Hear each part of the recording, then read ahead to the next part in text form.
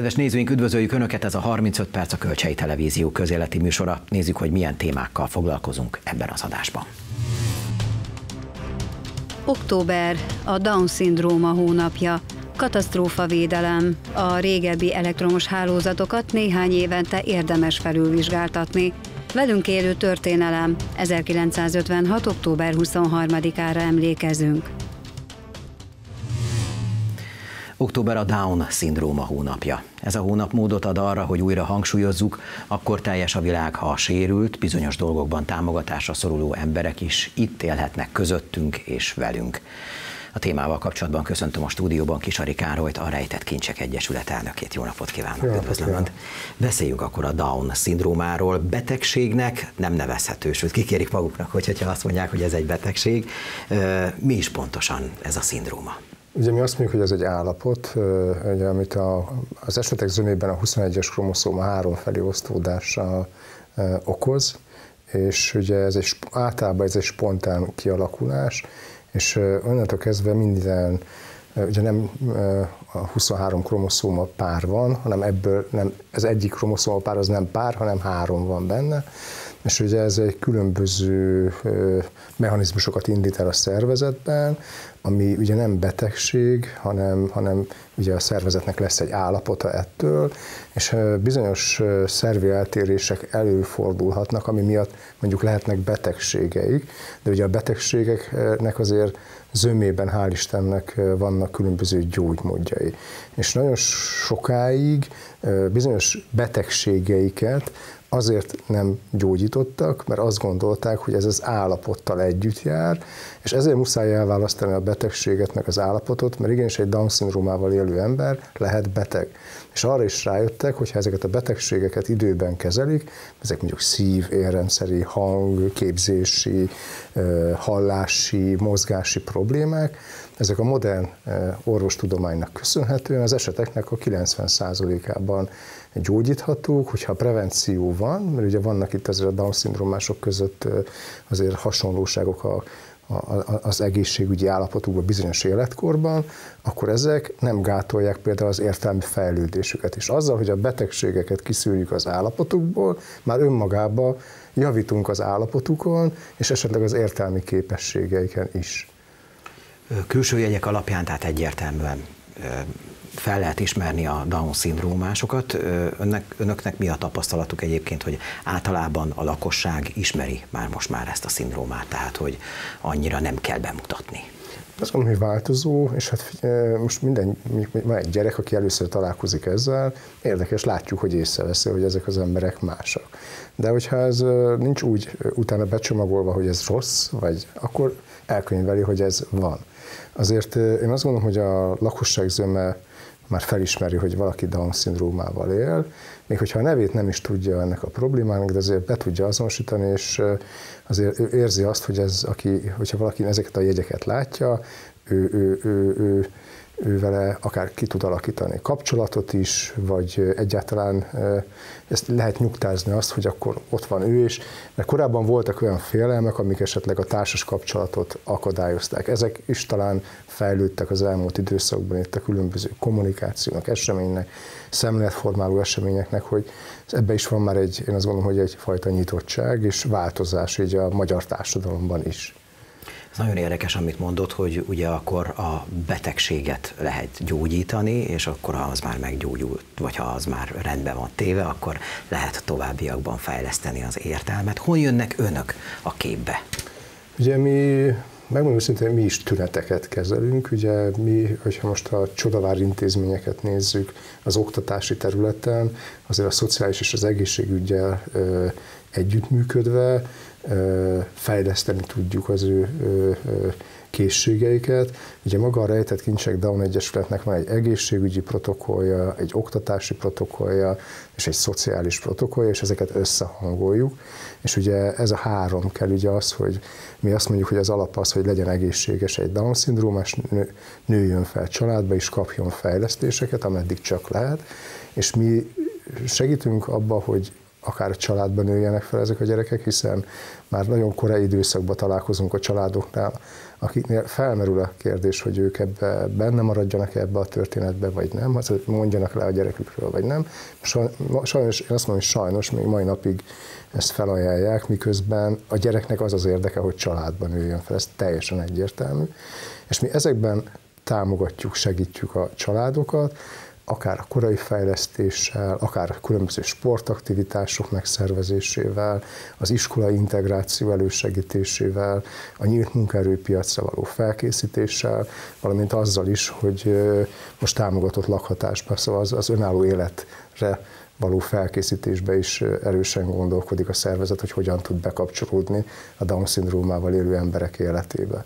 Na beszéljünk arról, hogy milyen eredményeket lehet elérni. Tehát ö, olyan eredményeket akkor el lehet érni, hogy teljesen önállóan egy Down-szindrómás ö, ember önálló életet tudjon folytatni, akár mondjuk családot is tudjon alapítani? Ez is előfordulhat, az esetek zömében ez nem jellemző, de van rá példa, akár Magyarországon, külföldön, úgyhogy ez nem, nem egyedi. Ugye egy Down-szindrómával élő ember is lehet, hogy kívülről vannak azonosságok, ami miatt tipizáljuk őket. Ők is ugyanannyira eltérnek egymástól, mint ahogy ön meg én, vagy hogy nem, nem ugyanazt csináljuk, nem, és hogy, és hogy, és hogy ezek az eltérések megvannak, és van, akinek nagyon erős támogatás kell, közep, van, akinek közepesen, vagy enyhe erős támogatás, vagy valaki önállóan is tud élni. Van olyan, aki most egy román kislányjal, kislányjal, hát hölgyel beszéltünk, aki pszichológiát végzett a Bukaresti Egyetemen, és most kutatja azt, hogy ő hogyan tudna segíteni a Down-szindrómával élő embereknek, hogy, és, hogy, és, és Down-szindrómás. Szóval hogy ilyen is van. A Spanyolországban Pablo Pineda, ő, ő több diplomával rendelkező, filmekben szerepelt, rendezett, és ő is Down-szindrómás. De mondom, ez, ez, ez, ez nem is tudom mennyiből egy, aki ilyen. Tök jó, hogy van ilyen, és lehet ilyet is nézni, mert én azt gondolom, hogy igenis lehetőséget kell adni, és nyitva kell hagyni a lehetőségeket, akár a teljes kibontakozásra és, és minden. Hétköznapi eredmények? Hétköznapi eredmények azért a régió, még, még, még nekünk is a közlésnél, még ugye, hogy valamik megtanul járni, beszélni, meg olvasni, ezért, ez, azért most már nagyon sokan írnak, olvasnak. A matematika az egy kicsit az egy ilyen nehézség, meg az ilyen elvon dolgok, de írni, olvasni, önállóan közlekedni, akár bizonyos munkákat elvállalni, már a Magyarországon élő Down-szindrómások is alkalmasak. Önök létrehoztak egy mentorházat. Ennek mi a szerepe? A mentorház ugye az a beteljesülése ennek az egésznek, ami már ugye az a, a, a, egy ember életében ugye a legtöbb időt dolgozik, sajnos. Szóval, hogy nagyon, mert ugye felnövünk, nem tudom, elkezdünk dolgozni, és az az, az, az, az életszakasz ugye a leghosszabb. És most egy olyan programot indítottunk el a mentorháznál, ezt a szakaszt, ezt, amikor már felnőnek, aktívá akarnak válni, és ebbe, ebbe mentoráljuk őket, ebbe segítjük őket, hogy akár munkát találjanak, lakhatást találjanak.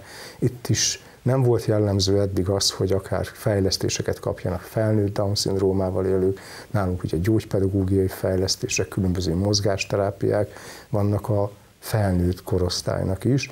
Ez nagyon érdekes, mert ugye azzal, hogy ha nincsenek meg ezek az aktivitások, hamarabb leépülnek, mint a normál populáció, és bizonyos betegségeknek az előfordulásának a kockázata, például az Alzheimernek, a Down-szindrómával élőknél sokkal hamarabb eljön, mint tipikus társadalomban élő embereknél. Tehát most úgy fogalmazok, hogy folyamatos inger alatt kell őket tartani, hogy, hogy megmaradjon a a megfelelő Igen, szintjük. igen, és az látszik, hogy ez nem, nem, ez nem egy ilyen, az ő részükről ez nem egy passzív dolog, mert ahogy lehetőséget kapnak, ők sokkal aktívabbak, mint ez bárki gondolná. És hogy ez egy nagyon érdekes, ugye mi egy spanyol mindát veszünk át most ugye a mentorház programmal, és hogy ott és Spanyolországban azt látjuk, hogy önállóan közlekednek a buszon, járnak dolgozni, hobbiaik vannak, kávézóba járnak. Mi ezt szeretnénk látni Nyíregyházán egy pár éven belül. Így legyen. Köszönjük szépen, hogy itt volt nálunk. És köszönjük. A leggyakrabban elektromos hiba, nyílt láng, a fűtési rendszer hibája, sütésfőzés, avar vagy szemétégetés miatt csaptak fel a lángok szabolcs már bereg vármegyében az év első kilenc hónapjában. A legtöbb tűz konyhákban keletkezett, de gyakoriak voltak a kéményekben, vagy hálószobákban keletkezett tüzek is. A baj megelőzése érdekében érdemes rendszeresen ellenőriztetni a kéményeket, amit a 1818-as telefonszámon lehet igényelni, sőt, időnként az elektromos hálózatot is felül kell vizsgáltatni. Az elmúlt napok tartós hőmérséklet csökkenése azt eredményezte, hogy sok helyen bekapcsolták a radiátorokat, és az első fákat már meggyújtották a kandallóban. Otthonaink biztonsága és a kéménytüzek megelőzése miatt fontos, hogy az égés termék elvezetők megfelelő állapotban legyenek. Ezért rendszeresen ellenőriztetni kell azokat. Eltérően kell kezelni azonban a család és a társas házas övezeteket. Ez utóbbinál ugye sormunkában végzi, betervezetten végzik a kéményseprők a kémények ellenőrzését. Ha egy lakásos épületben, mondjuk úgy családi házban lakunk, akkor viszont nekünk kell őket megkeresni. Többféle csatornán lehetséges ez, központi számon, e-mailben, akár személyesen, itt, itt most Nyírbátorban vannak elhelyezve a kéményseprő kollégák. Tehát az egyeztetés fontosságára hívjuk fel, egy közös időpontban megtörténhet a kémények ellenőrzése, szükséges műszaki felülvizsgálata, tisztítása. A kémények vonatkozása még fontos elmondani, hogy amennyiben gázüzemű berendezéshez kapcsolódik, akkor kettő évente szilárd tüzelőanyagot használunk, mondjuk fát vagy szenet, akkor viszont évente kell ezt az ellenőrzést elvégezni. Az, hogy milyen jelek utalhatnak rá, fontos az, hogy milyen tüzelőanyagot használunk. Nyilván itt a jó minőségű fára kellene koncentrálni, de ha ez nem sikerül, akkor ugye előfordulhat, hogy halmozottan, fokozottan fog majd lerakódni az a kátrány, az az égéstermék, amely majd meggyulladhat. Ilyenkor elképzelhető, hogy gyakoribb tisztításra lehet szükség. Több mint 60 esetben történt kéménytűz Vármegyénkben. Ez azt jelenti, hogy vagy a kéménybe lerakódott égéstermék gyulladt ki, vagy tovább terjedt az épület valamely részére ez a tűz, és előfordult olyan, hogy kiterjedt lakástűzzel is szembesült a kollégáink. Szerencsére azonban személyi sérülés ezekből nem történt. Egyre öntudatosabbak biztonságuk érdekében az emberek, és gyakran tárcsázzák a 18-18-as számot, és küldik az e-mailt, keresik a kapcsolatot. Valamennyi nyílt lánggal működő eszköz esetén fennáll a szénmonoxid fejlődésének az esélye akkor, ha nem megfelelő a levegő utánpótlás. Ez független attól, hogy fával, gázzal vagy szénnel fűtünk. Mi lakástűzekhez vonulunk ki, és ezt mindig keressük, kutatjuk, vagy éppen vélelmezzük a tűzkeletkezési okát. Az elektromos ö, okból adódó tűzkeletkezési ok a mi statisztikánkban második helyen áll a nyílt lángot követően. Napjainkban rengeteg elektronikai berendezés vesz minket körül, és számuk egyre csak nő. Az újszerű technológiák megjelenésével az áramforrásokat hosszú ideig, sokszor megszakítás nélkül használjuk, emiatt az elektromos lakástüzek száma is megnövekedhet. Az év első három negyed évében összesen 290 lakóépületben keletkezett tűz szabolcs szatmár megyében, ebből 12 esetben tűzvizsgálat indult. Az eredmények azt mutatják, sok esetben elektromos hiba miatt csaptak fel a lángok. Egy új építésű ingatlan esetében már gondolnak a szakemberek arra, hogy a jelenlegi fogyasztási körülményekhez igazítsák az elektromos hálózat kiépítését, de vannak azért régebbi, akár 50-60 éves épületek, amelyeket használunk, és abban az időkben bizonyosan nem erre a leterheltségre készültek el az elektromos hálózatok. Mi felhívjuk az emberek figyelmét arra, hogy időközönként célszerű szakemberrel ezeket a hálózatokat átvizsgáltatni, azok teljesítő képességével kapcsolatban információt kérni, a szükséges javításokat, hibafeltárásokat elvégezni. Amíg régen egy porszívó teljesítménye 600 és 1000 watt között mozgott, napjainkban 1500-2200 watttal dolgozik. Egy hajszárító a korábbi 300 watt helyett már 1000-1500 wattot fogyaszt. És akkor még nem beszéltünk a mikrohullámú sütőkről, a klímaberendezésekről, a mosó, szárító és mosogatógépekről, amelyek szintén túlterhelhetik a régi hálózatokat. Az elektromos hálózat korszerűtlenségére utalhat, ha többször pislákol a lámpa, vagy ha szikráznak a konnektorok. És nem csak az elektromos hálózat túlterheltsége okozhat tüzet. napjainkban ugye egyre több olyan készüléket, vagy éppen járművet használunk, amely elektromos töltésűek, vagy elektromos meghajtásúak. Ezek ugye ugyancsak terhelhetik a hálózatot, és pont a bennük elhelyezett akkumulátor veszélyre szeretnénk felhívni a figyelmet, hiszen ezek a legtöbbször lítium alapú ö, töltőegységek képesek ö, olyant is produkálni, hogy akár robbanás vagy tűzeset is bekövetkezhet. Ezek szélsőséges esetek, de vannak rá példák, tehát ezeket is fokozottan tartsuk emberi felügyelet alatt, mondjuk az említett mobiltelefon vagy éppen laptop töltése, vagy a kisebb járművek, mondjuk a rollej jármű töltésekor is legyen emberi felügyelet alatt a jármű, vagy éppen az eszköz. Ha mégis megtörténik a baj, elektromos lakástüzek esetén a lángokat tilos vízzel oltani. Az oltáshoz használjunk porral oltó kézi tűzoltó készüléket, vagy valamilyen nem gyólékony, nagy felületű anyagot. Ha nincs ilyenre lehetőség, akkor azonnal értesíteni kell a tűzoltókat.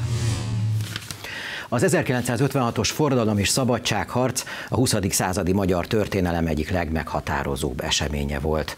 Nem csak Budapesten, hanem országszerte zajlottak megmozdulások. A témával kapcsolatban pedig vendégünk a stúdióban dr. Holmár Zoltán, történész. Jó napot kívánok, köszönjük, hogy itt van nálunk. És hát Nyíregyházán október 26-án voltak a történések, mert hogy azért ennyi nap kellett ahhoz, hogy ide érjenek a hírek. A megyére is ez volt a jellemző, Szabolcs már Bereg megyére, hogy, hogy három nappal később? Igen, egyébként, ha megyei vonatkozású eseményeket figyeljük, akkor ugye a megyeszékhely Nyíregyháza az október 26-án kapcsolódik be a forradalmi eseményekbe.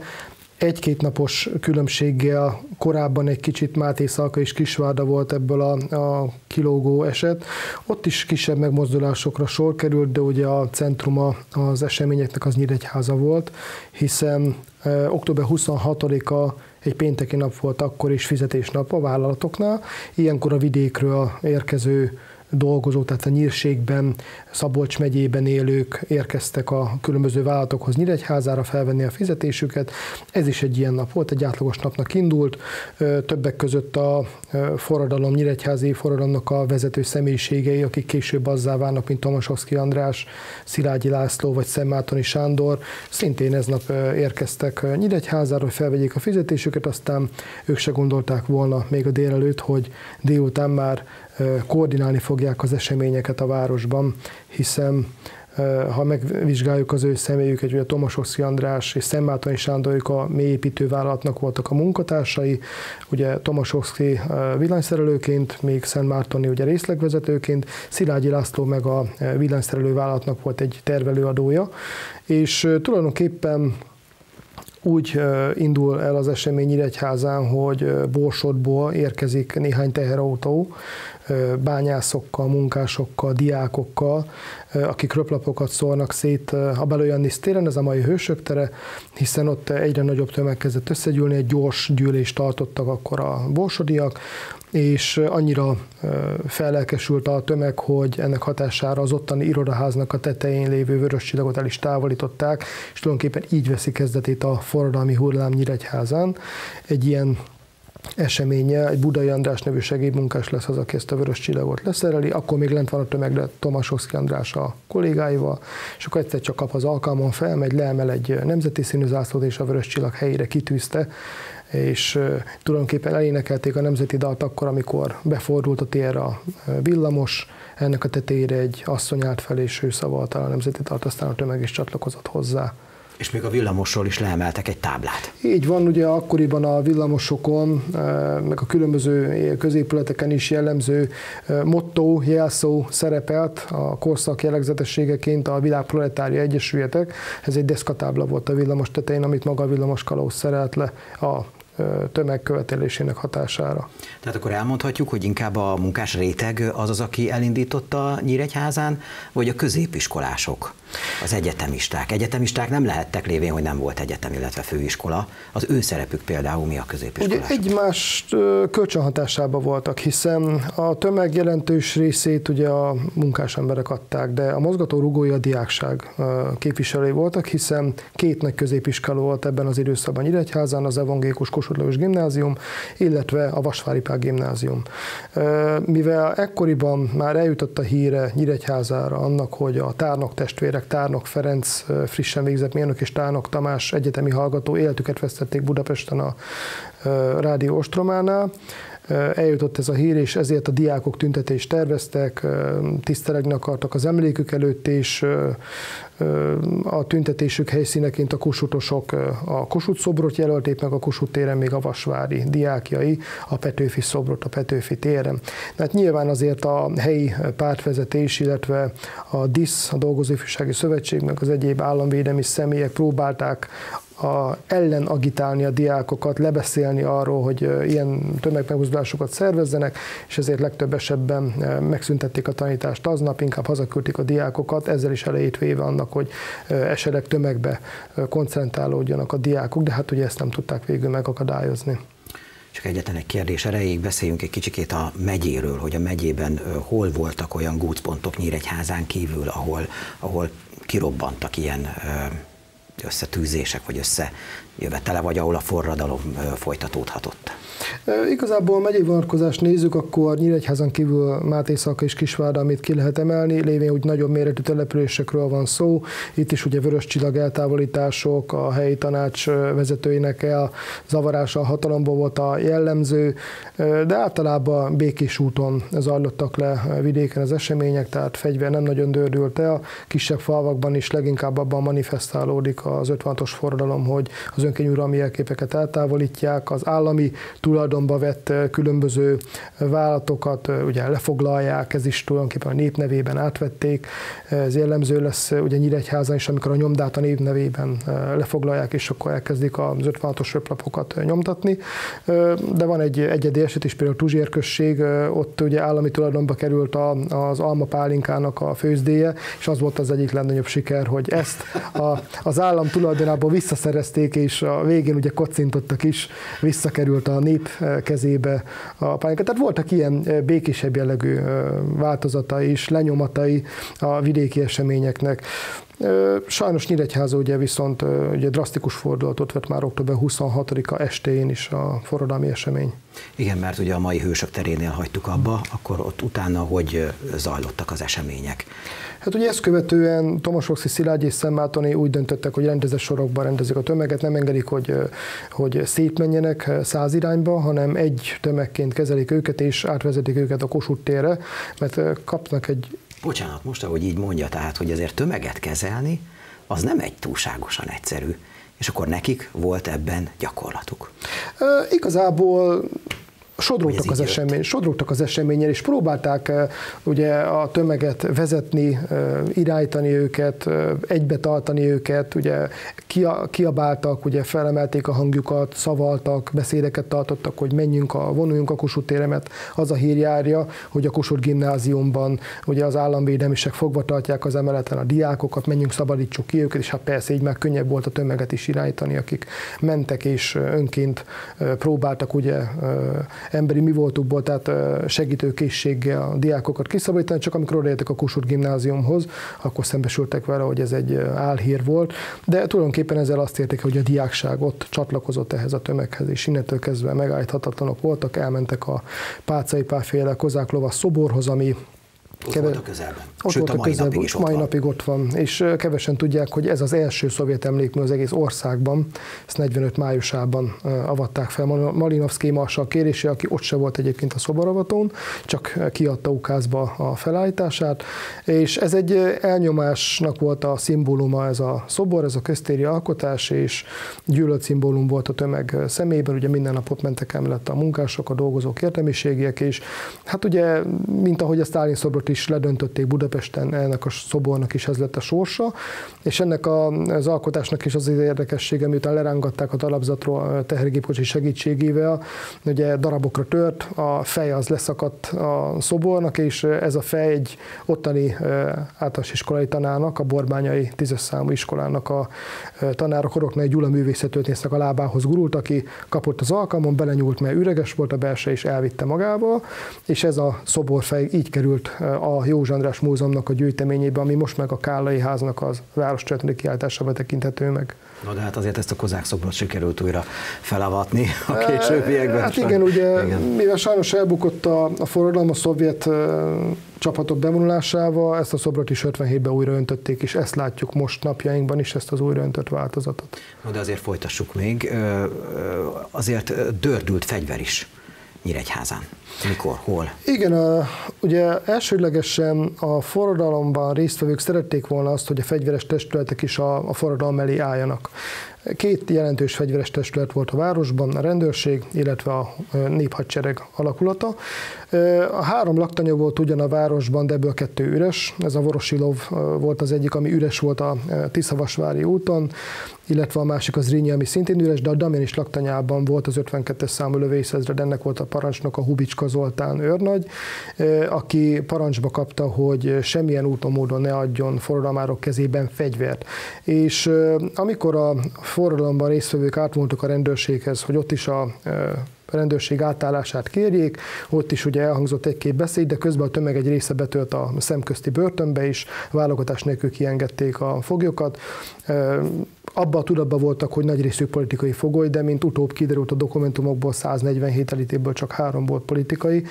Volt köztük szép száma a köztörvényes is, és az abban, hogy ezek belekerültek abba a tömegbe, ami ugye tisztán addig a politikai tiltakozásokat próbálta összefogni, összefoglalni, és ezek az elemek belekerülve a tömegbe ugye eljutottak a Damjanis laktanyához, fegyvert követelve, és ugye aznap este be is törtek a laktanya hátsó kapuján belül, leütöttek ott egy katonát, elvették a fegyverét, már ugye élethalál kérdésről volt szó, ezért a laktanya parancsnok elrendelte, hogy lőjenek a levegőbe, hát ha meg tudják állítani a beönzölő tömeget, de ez nem sikerült, ezért lábra céloztatott ezután is többen súlyosabb, illetve könnyebb sebesüléseket szenvedtek. Életüket nem vesztette senki, hál' Istennek, de akkor 21-en kórházba kerültek nagyon kevés időnk van, 26-a után csak tényleg dióhéjban. Még mi az, ami történt november 4-éig, hogyan állt össze egyáltalán, hogyan fogott össze az ország, illetve a megye?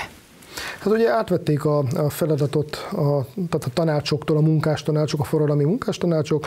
Ezeknek az élére, ugye a megyei munkástanács élén Szilágyi László került, a városi élére Rácz István, a Vasvájpe Gimnázium magyar-francia szakos tanára, illetve létrehozták rendfenntartó szervként a nemzetőrséget, ennek volt a vezetője Kabai Dezső, egy kútfúrómester, akinek a vezetésével október 29-én, 30-án elfoglalják a pártszékházat, ez a mai Józs András Múzeumnak az épület, ott volt ugye Varga Sándor MDP titkár, tulajdonképpen elfoglalják az épületet és a Sóstő úton lévő államvédelmi is épülettel egyetemben ugyanaz napot is lefegyverzik az ott maradt őrséget. Tudni kell azt, hogy a, az államvédelmi hatóságnak a jelenléte ugye október 28-ig bénítólag hatott a nyíregyházi eseményekre, de aztán ők aznap távoznak.